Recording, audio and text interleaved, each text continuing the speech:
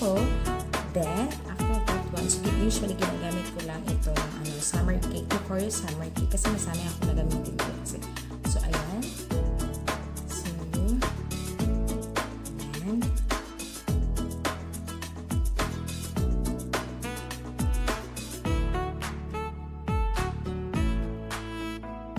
Okay, so next is, tayo ko lang. First na ginagawa ko talaga is yung kilay ko. Kasi para siya sa masil masilan para sa akin.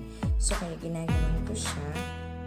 So, ginagamit ko sa aking kilay ay itong A1 Perfect Glow Cream. So, after naman yan is itong aking kilay. So, kilay is live.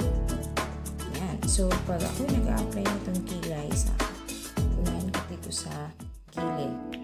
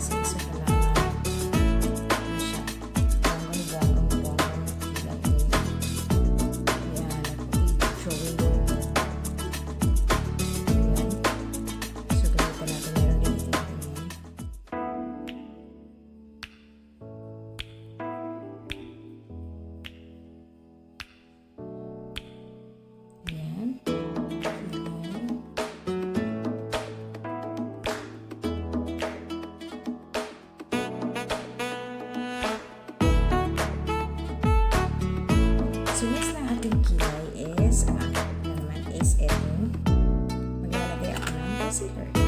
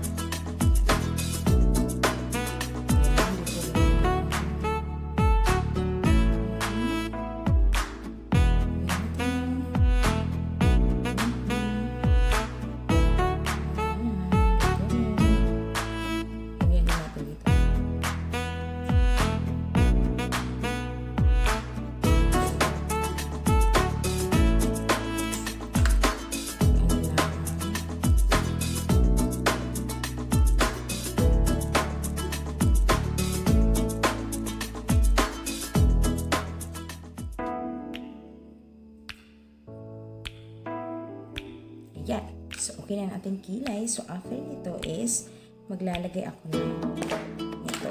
So, simple lang. Ginagamit ko ay ang ito, Simply Pretty Avon Shimmer Blush Lipstick. So, pwede